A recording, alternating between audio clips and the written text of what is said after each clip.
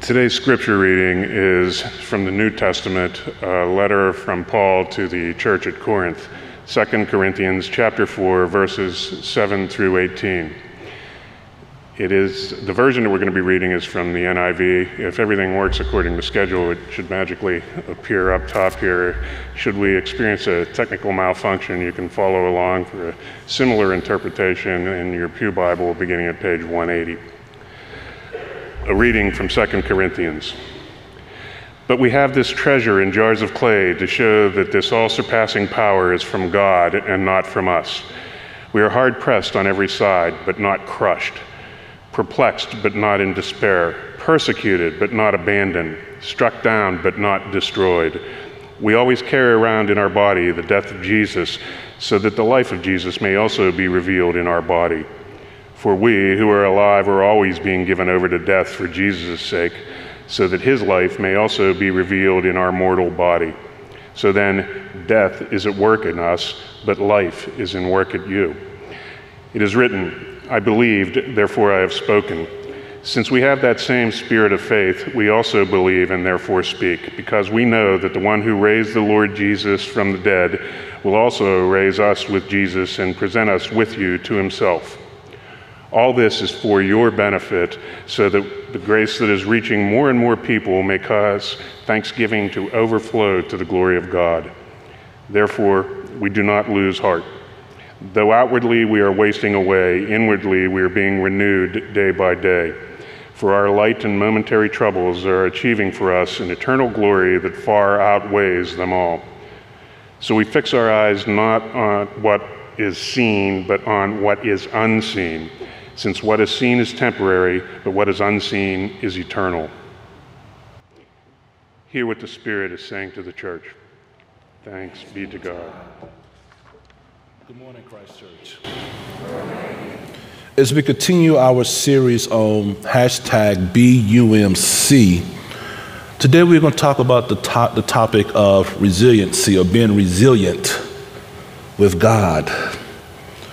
Resiliency is a key component of our faith.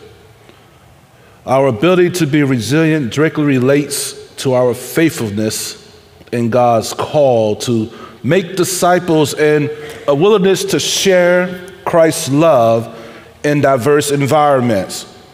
The church has been able to survive since the day of Pentecost because of God's faithfulness to strengthen our ability to be resilient. This passage from Paul in 2 Corinthians uncovers several truths regarding Christian resiliency.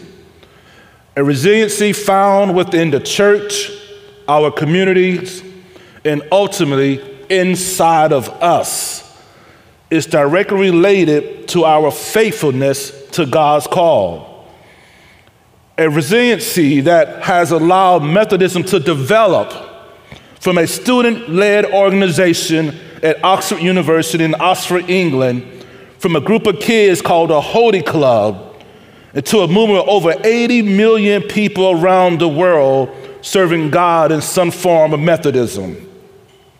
A resiliency against name calling and social isolation because these students created systems or methods to experience God's grace on a deeper and personal level. Like our founders today, we must have a resilient spirit against worldly things that come against us, to continue God's call to go out into a sin sick world and embrace people that God placed in front of us like our founders, we must have resiliency to speak against institutional evils and seek the empowerment of others. So, to be UMC is to have faith that feeds into our ability to be resistant, resilient. Resiliency and how is how we bounce back from the works of evil because we are God's children. We are the people of God. We bounce back not with anger and hostility. We bounce back with love, forgiveness, and well wishes because we are the people of God. We are children of God. And it's the love of God that strengthens us. To be UMC is to know that we have this treasure in jars of clay to show that this all surpassing power is from God and not from us. The word treasure points to what is most valuable or sacred within us. And as a believer in God, a believer in Jesus and a child of God, my most valuable thing is my faith. It's, it's not my home or the car that I drive or the people that surround me as much as it is my faith, my relationship with Jesus Christ. That is the most valuable thing that I have in this world. And as Paul explains, our treasures are not locked up behind steel beams and concrete walls, but God has put our treasure in jars of clay. Our treasures are housed in containers that can crack, that, that containers that can be chipped away at, and containers that can shatter if too much pressure is applied upon them. But God secures these jars of clay and invests heavily into us, to our treasures of faith. Has anybody in here been in a situation in which you felt like you were about to crack? You felt that you were about to shadow and, and your jar of clay was about to fall apart. But God reached down in love and found you. You know that God secures us with God's love. I'm gonna give you three points. I'm gonna be out the way this morning. Here's the first point God loves, it's the love of God that makes you resilient. This one is a little difficult today. God never intended for our greatest treasure, our faith, to exist locked away from the pressures of life our most valuable treasures, our faith, is going to feel the heat of disappointment, the heat of betrayal, and the heat of loss. We all will experience those things in life. But God allowed those things to take place to strengthen our faith to make a deposit into our jars of clay. And when things are hot and difficult, our faith cries out to God and grace is released into our lives. This part's hurt, but it is true. I remember years ago, I was so disappointed over the issue that I became angry with God. I did not want to read scripture. I didn't want to pray. I didn't even want to go to church. In essence, the pain of being who I was or who I am was too difficult for me. And my jar of clay had all types of cracks in it. It was about to shatter. I was tired. I was worn down. I was beat, and depression would start to set in. But the love of God reached down and carried me through. So today I can look back and praise God over those hard times because the pressures of life has taught me He is a friend that's closer than a brother. The pressures of life has taught me that He's a balm in Gilead. The pressures of life has taught me that He's the lily of the valley. So when I pray out today, I got experience knowing that my God would answer my prayers. It's because those low points in life has taught me a lesson that God is present. So today I can look back and know that God walks with us. If our faith is always locked away and it's secured behind closed doors, and we never feel the pressure of life, then our ability to receive the deposits of faith and grace are limited. God loves us too much to abandon us or abort the call that's inside of us. It is the love of God that makes our grace and makes our life resilient. As Paul wrote, it is this all surpassing power from God and not from us. It was God who delivered Daniel from the lion's den. It was God who parted the Red Sea when the children needed to cross. It was God who stopped the, the river Jordan from flowing. It was God who stopped time and let the Israelites fight the battle. It was God who brought some kids home. It was God who restored some marriages. It was God who gave you hope when you had nothing but despair. It was God. Our ability to be resilient comes from the love of God. Paul explains we are hard pressed on every side, but not crushed, perplexed, but not in despair, persecuted, but not abandoned, struck down, but not destroyed.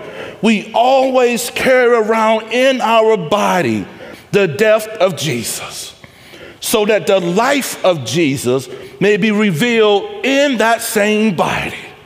You will feel some pressures of life, but the love of God will carry you through.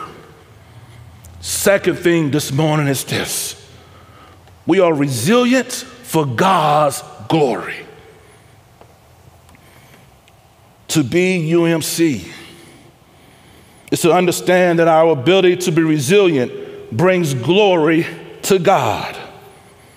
When Wesley and the other students at Oxford were enduring name calling and social isolation from their peers, they were more concerned about experiencing God's grace over the benefits of other activities that young men could be doing. Like the students of yesteryears, we got to be more concerned about experiencing the grace of God in our lives over anything else. And sometimes we have to own the criticism. The fact that we're called Methodists is not a badge of courage. It's actually what's a mockery that was tossed upon these students they have methods for everything. They will wake up early in the morning to spend time with God in prayer. They made sure they visit the sick. They made sure they go in. They took the church to the people. They were doing things that other students were like, why are you doing all this stuff? You got a method for everything. Or you got a system in place for everything upon the earth. So they started calling them Methodists. Sometime claim the criticism. If they calling you, if they calling you holy, claim the holiness.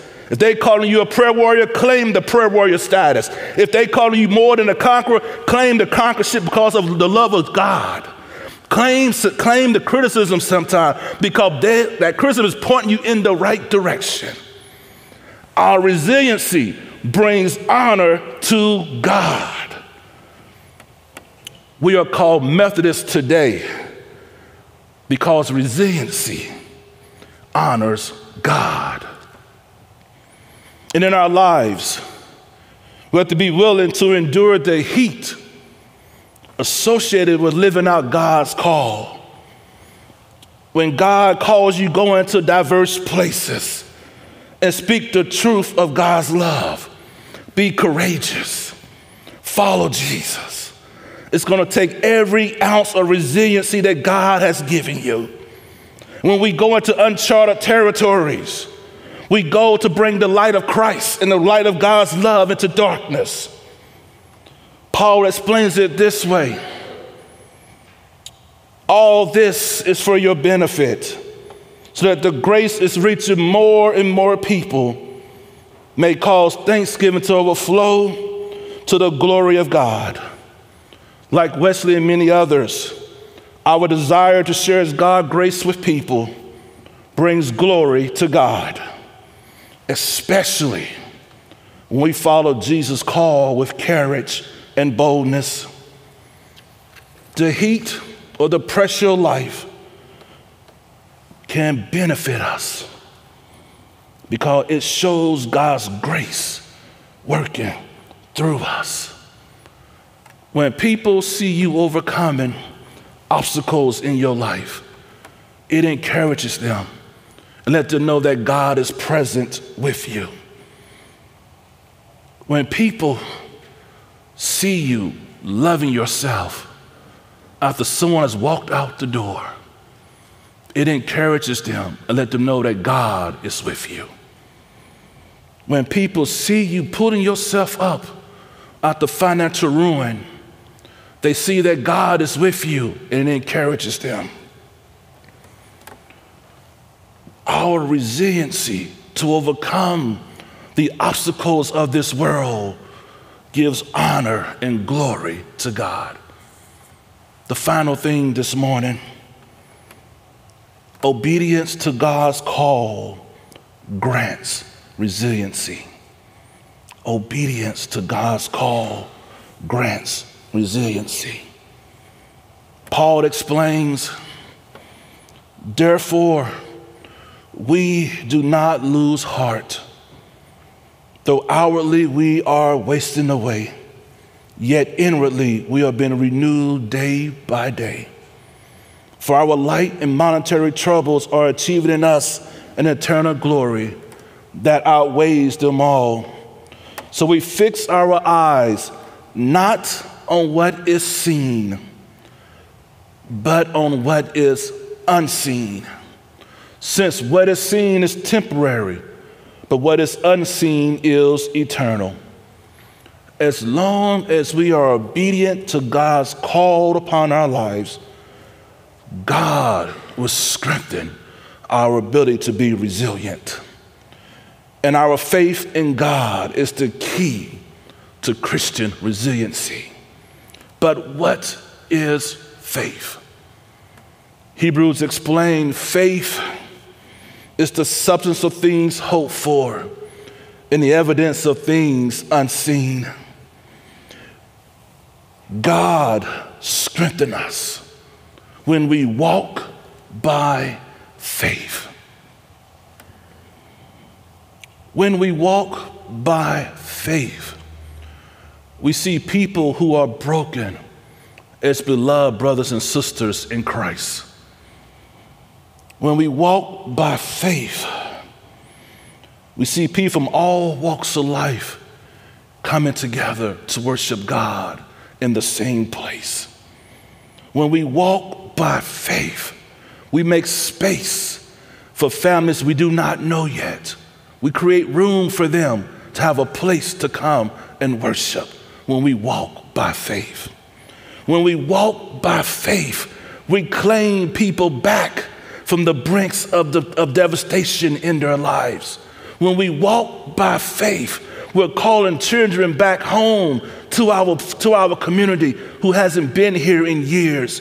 When we walk by faith, we are claiming people are healed by the blood of Jesus. When we walk by faith, we walk with the power of God, knowing that our faith is strengthened by God's love.